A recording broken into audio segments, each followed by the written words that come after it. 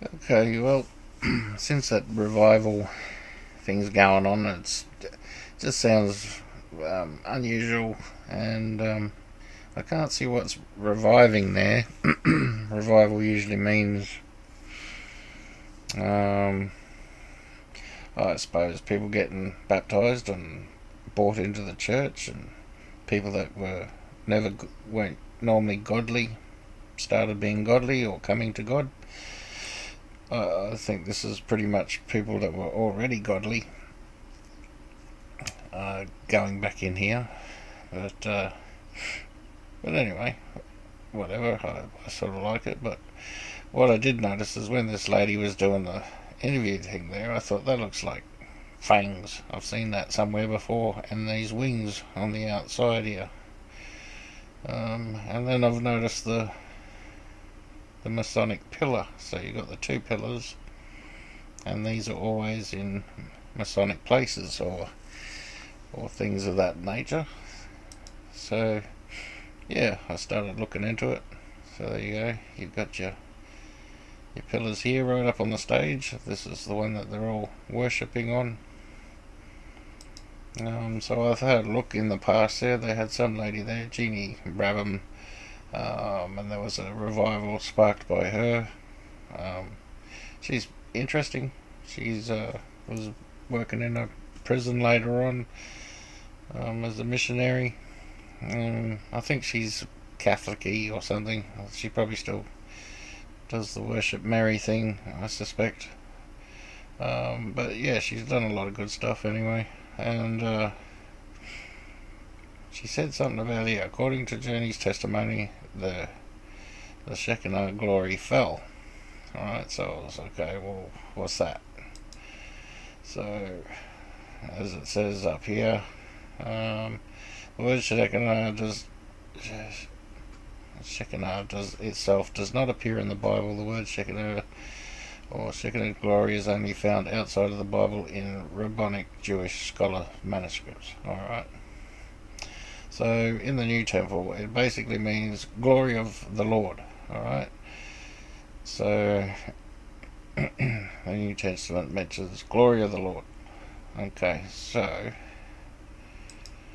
she says the glory of the Lord fell. I'm not sure how his glory fell. But uh, anyway, it was interesting. So here's like the front of the building.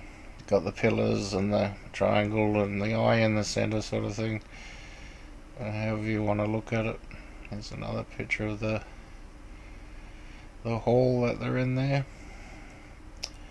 Um, yeah, another one of their buildings. Got a few like this, all with the same thing, pillars.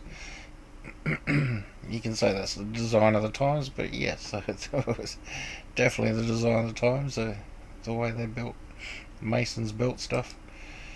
Um, here's a better picture of this one. You, I think you can walk in behind that sort of thing. So I noticed those teeth looking thingies before. You see here at a different angle. That's the teeth. You see the eyes here. And these wings yeah, sort of reminded me of of, of those the ones in the background or these ones here. Um, so yeah, this, is the Pope's um, church. This is right next to the main main one, right near the Vatican and that. This this is his main church. He, this is him looking out from the podium. That's his backdrop um, that sits behind him. Uh, this thing here with the snake coming out one side and the Lord stuck on the other. Well, supposed to be the Lord. I don't know what it's supposed to be. It's a pretty horrible looking thing. But anyway, yeah, if you want to see that sort of stuff, just type in Vatican snake, you'll find it. Um, yeah, so went looking more on the there's another one there Masonic sort of uh, stuff that's a Mason Mason Lodge if you look here this is one of the uh, symbolism thingies and you always wonder why he's doing this. Right, Aleister Crowley. That's the two pillars. There's his triangle. It just dawned on me then. I didn't actually get it until I seen that. Uh, so yeah, and you see here two pillars in the middle. Whatever there's, whoever that is, the probably Queen Mother of Heaven. Who knows? Um, yeah, so there's that, those things there. So I thought that was interesting. Here's another one. Pillar, pillar, triangle.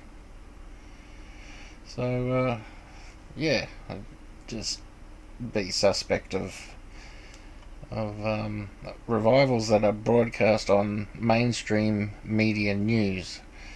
That's the bit that made me nervous. I'm like, why, why are all the mainstream media's getting on this, CBS or whatever, and all those sort of ones? Why, why, why are they promoting it? There must be some agenda. So if they're promoting it, then um, it, it would be bad. That's the way I look at it. I just don't trust them. There's just no point in trusting them. There's always some sort of hidden agenda behind them. So, yeah, that's my view anyway. God bless.